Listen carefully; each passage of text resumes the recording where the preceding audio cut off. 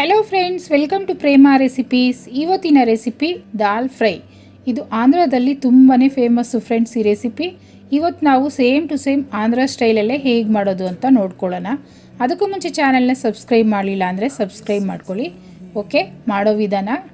ಮೊದಲನೇದಾಗಿ ನಾನು stove on ಮಾಡಿ ಕುಕ್ಕರ್ ಇಟ್ಟಿದ್ದೀನಿ. ಅದರಲ್ಲಿ ಒಂದೆರಡು ಗ್ಲಾಸಷ್ಟು ನೀರನ್ನು ಹಾಕಿ ನೋಡಿ ಕಾಯಿಸ್ಕೊಳ್ತಾ ಇದ್ದೀನಿ. ಅದರಲ್ಲೇ ಒಂದು ನೂರೈವತ್ತು ಗ್ರಾಮಷ್ಟು ತೊಗರಿಬೇಳೆನ ವಾಶ್ ಮಾಡಿ ಹಾಕ್ಕೊಳ್ತಾ ಇದ್ದೀನಿ. ನಂತರ ಈಗ ನಾನು ಒಂದು ಕಾಲು ಟೀ ಸ್ಪೂನಷ್ಟು ಅರಿಶಿನ ಸೇರಿಸ್ಕೊಳ್ತೀನಿ. ಹಾಗೆಯೇ ಒಂದು ಸ್ಪೂನಷ್ಟು ಹರಳೆಣ್ಣೆನ ಹಾಕ್ಕೊಳ್ತಾ ಇದ್ದೀನಿ. ಹರಳೆಣ್ಣೆ ಹಾಕೋದ್ರಿಂದ ಬೇಳೆ ಬೇಗ ಬೇಯುತ್ತೆ, ಮತ್ತು ಬೇಳೆ ಕಟ್ಟು ಸಹ ಚೆನ್ನಾಗಿ ಬಿಡುತ್ತೆ. ಓಕೆ, ನೋಡಿ ಇದನ್ನ ಒಂದ್ಸಲ ಮಿಕ್ಸ್ ಮಾಡಿ, ಈಗ ನಾನು ಕುಕ್ಕರ್ ಲಿಟ್ಟನ್ನು ಕ್ಲೋಸ್ ಮಾಡಿ ಒಂದು ಮೂರು ವಿಸಿಲ್ ಕೂಗಿಸ್ಕೊಳ್ತೀನಿ. ಅಂದರೆ ನಮಗೆ ಬೇಳೆ ಸಾಫ್ಟಾಗಿ ಬೇಯಬೇಕು. ಓಕೆ, ನೋಡಿದ್ರಲ್ಲ? ಮೂರು ವಿಸಿಲ್ ಆಗಿದೆ, ಓಪನ್ ಮಾಡಿ ನೋಡೋಣ. ನೋಡಿ, ಬೇಳೆ ಪರ್ಫೆಕ್ಟಾಗಿ ಬೆಂದಿದೆ. ಇದನ್ನು ಒಂದ್ಸಲ ಸ್ಪೂನಲ್ಲೇ ಸ್ವಲ್ಪ ಸ್ಮ್ಯಾಶ್ ಮಾಡ್ಕೊಳ್ಳೋಣ. ನೋಡಿದ್ರಲ್ಲ, ಇಷ್ಟ ಆದರೆ ಸಾಕಾಗುತ್ತೆ ನಮಗೆ. ಅಂದರೆ ನೀವು ತುಂಬ ಬೆಣ್ಣೆ ಥರ ಮಾಡಬಾರ್ದು. ಇಷ್ಟು ಮಾಡಿಕೊಂಡು, ಓಕೆ, ಪಕ್ಕಕ್ಕೆ ಇಟ್ಕೊಳ್ತೀನಿ. ನಂತರ ಈಗ ನಾನು ಸ್ಟವ್ ಮೇಲೆ ಒಂದು ಪ್ಯಾನ್ ಇಟ್ಟಿದ್ದೀನಿ. ಅದರಲ್ಲಿ ಒಂದೇ ಒಂದು ಸ್ಪೂನಷ್ಟು ಆಯಿಲನ್ನು ಹಾಕ್ಕೊಳ್ತಾ ಇದ್ದೀನಿ. ನೀವು ಬೇಕು ಅಂದರೆ ಈ ಜಾಗದಲ್ಲಿ ತುಪ್ಪನೂ ಸಹ ಸೇರಿಸ್ಕೊಳ್ಬೋದು. ಹಾಗೆ ಹಾಫ್ ಸ್ಪೂನಷ್ಟು ಸಾಸಿವೆ. ಸಾಸಿವೆ ಚಿಟಪಟ ಅಂದಿದ್ದೇನೆ. ಹಾಫ್ ಸ್ಪೂನಷ್ಟು ಜೀರಿಗೆನ ಹಾಕ್ಕೊಳ್ತೀನಿ. ಓಕೆ ಇದು ಸ್ವಲ್ಪ ಫ್ರೈ ಆಗಲಿ. ಈಗ ನೋಡಿ, ಒಂದು ಕಡ್ಡಿಯಷ್ಟು ಕರಿಬೇವು ಮತ್ತು ಒಂದು ನಾಲ್ಕು ಹಸಿಮೆಣಸಿನ್ಕಾಯಿ ಕಟ್ ಮಾಡ್ಕೊಂಡಿದ್ದೀನಿ. ಒಂದೆರಡು ಒಣಮೆಣಸಿನ್ಕಾಯಿ. ಇದನ್ನು ಹಾಕಿ, ಇದನ್ನು ಸ್ವಲ್ಪ ಚೆನ್ನಾಗಿ ಫ್ರೈ ಮಾಡ್ಕೊಳ್ಳೋಣ. ನೋಡಿ, ಈಗ ಒಂದು ಮೀಡಿಯಮ್ ಸೈಜ್ ಈರುಳ್ಳಿ ಸಣ್ಣದಾಗಿ ಕಟ್ ಮಾಡ್ಕೊಂಡಿದ್ದೀನಿ. ಅದನ್ನು ಹಾಕ್ಕೊಳ್ತಾ ಇದ್ದೀನಿ. ಈರುಳ್ಳಿನೂ ಅಷ್ಟೇ, ನಮಗೆ ಚೆನ್ನಾಗಿ ಗೋಲ್ಡನ್ ಬ್ರೌನ್ ಬರೋವರೆಗೂ ಫ್ರೈ ಆಗಬೇಕು.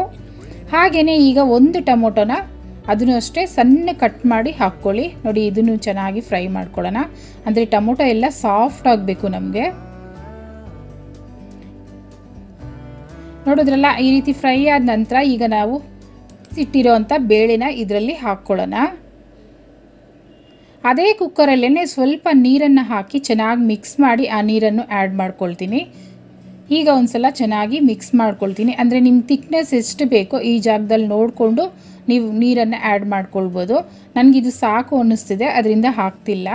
ಇದು ಬಿಸಿ ಬಿಸಿ ರೈಸ್ಗೆ ತುಪ್ಪ ಹಾಕ್ಕೊಂಡು ತಿಂದರೆ ಅಂತೂ ತುಂಬಾ ಚೆನ್ನಾಗಿರುತ್ತೆ ಫ್ರೆಂಡ್ಸ್ ಹಾಗೆ ಚಪಾತಿ, ರೋಟಿಗೂ ಸಹ ತುಂಬ ಚೆನ್ನಾಗಿರುತ್ತೆ. ಓಕೆ ನೋಡಿದ್ರಲ್ಲ ಒಂದು ಸಲ ಚೆನ್ನಾಗಿ ಮಿಕ್ಸ್ ಮಾಡ್ಕೊಂಡಿದ್ದೀನಿ. ಈಗ ನಾನು ಕಾಲು ಟೀ ಸ್ಪೂನಷ್ಟು ಅರಿಶಿನ ಮತ್ತು ಒಂದು ಅರ್ಧ ಸ್ಪೂನಷ್ಟು ಗರಂ ಮಸಾಲನ ಹಾಕ್ಕೊಳ್ತಾ ಇದ್ದೀನಿ. ನೀವು ಬೇಕು ಅಂದರೆ ಜಿಂಜರ್ ಗಾರ್ಲಿಕ್ ಪೇಸ್ಟು ಒಗ್ಗರಣೆ ಹಾಕೋವಾಗ ಹಾಕ್ಕೊಳ್ಬೋದು. ಹಾಗೆಯೇ ಸ್ವಲ್ಪ ರುಚಿಗೆ ತಕ್ಕಷ್ಟು ಉಪ್ಪನ್ನು ಹಾಕಿ ಚೆನ್ನಾಗಿ ಮಿಕ್ಸ್ ಮಾಡ್ಕೊಳ್ತಾ ಇದ್ದೀನಿ. ಓಕೆ ನೋಡಿ ಈ ರೀತಿ ಮಿಕ್ಸ್ ಮಾಡಿ, ಈಗ ನಾನು ಲಿಟ್ಟನ್ನು ಕ್ಲೋಸ್ ಮಾಡಿ ಒಂದು ಮೂರೇ ಮೂರು ನಿಮಿಷ ಆಗಿ ಬೇಯಿಸ್ಕೊಳ್ಳೋಣ. ನೋಡಿ, ಈಗ ಓಪನ್ ಮಾಡಿ ನೋಡ್ತಾ ಇದ್ದೀನಿ. ವಾವ್, ನೋಡಿದ್ರಲ್ಲ ಫ್ರೆಂಡ್ಸ್ ಎಷ್ಟು ಚೆನ್ನಾಗಿ ಆಗಿದೆ ಅಂತ. ಒಂದ್ಸಲ ಮಿಕ್ಸ್ ಮಾಡ್ಕೊಳ್ಳೋಣ.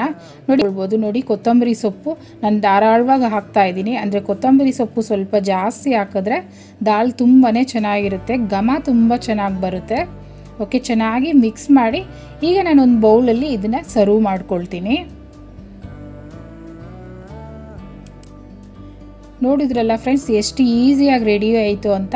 ನೀವು ಸಹ ಇದೇ ರೀತಿ ಟ್ರೈ ಮಾಡ್ಕೊಳ್ಳಿ. ಡೆಫಿನೆಟಾಗಿ ನಿಮ್ಮ ಮನೇಲಿ ಎಲ್ರಿಗೂ ಇಷ್ಟ ಆಗುತ್ತೆ.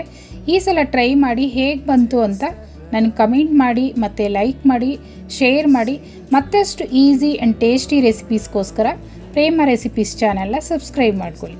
Thanks for watching